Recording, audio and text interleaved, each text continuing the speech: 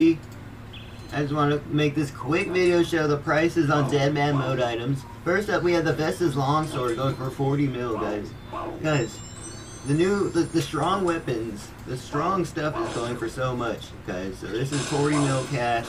That's a lot of OSRS cash. That's like 400 mil or something, or more, guys. So, next item is, next we have Corrupt Nightmare Staff going for 7 mil. That's quite a bit, guys all these expensive strong items are going for a bit so it's hard to stack all of them at once.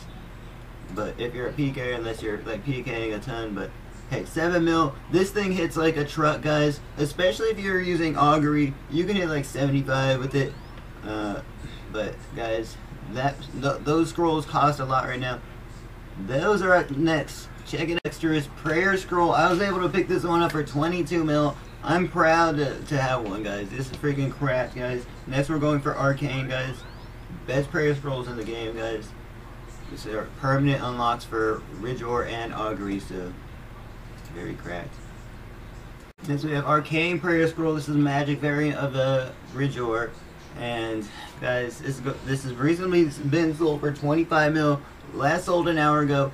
I don't know how much it's going for now. Again, these things are being merged hard, so someone drops it, they're going to probably sell it or whatever, guys. I would use it if I got the drop, though. We're saving up for this next, though. Next we have the Scythe. This is very crap for training. You can get like 3 mil XP or more per hour using this against like so many monsters. So this is going for a lot. 10 mil, guys.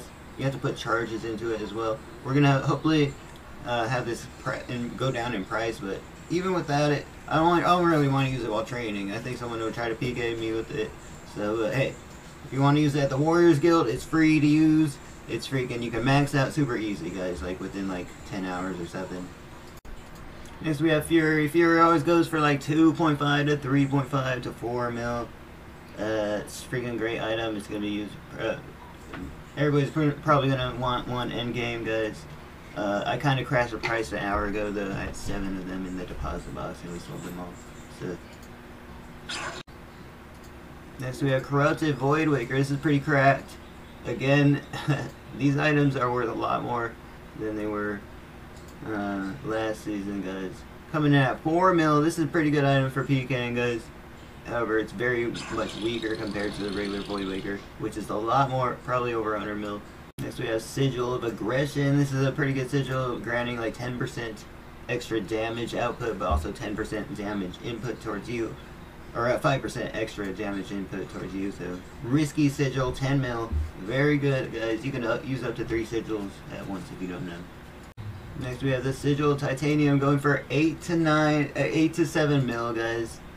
Guys, let me know what you think about this. This this right here is used for Inferno runs. If you're kind of good at Inferno, you can do it. It, it basically remo reduces all monster damage by 65%, guys. Correct. Uh, Sigil of Arcane Swiftness. This is a... Uh, increases the, the ticks of like barrages by one, guys. This is very correct. Uh, there's also the range and melee version variants of it. It used to be a compiled all into one sigil, but they nerfed it last season, guys, because it was too cracked and it was like 70 mil for the sigil. Very, very, very good that they nerfed that because that was uh, amazingly good. Gotta get back to Dead Man, guys. I got levels to get, but last but not least, we have Toxic Staff, one of the most expensive items right now. Pretty cracked, guys. If someone uses that, this, and you don't have anti-venom or anti-poisons, you are screwed, guys. I personally bring anti-venoms with me, guys, just in case, guys, because this is a freaking... Um, probably the best item out there, guys. And uh, honorable mention, we have Void Waker coming in at 50 mil, guys. Best, strongest weapon in the game for a PKing. Uh, Ancestral, 16 mil.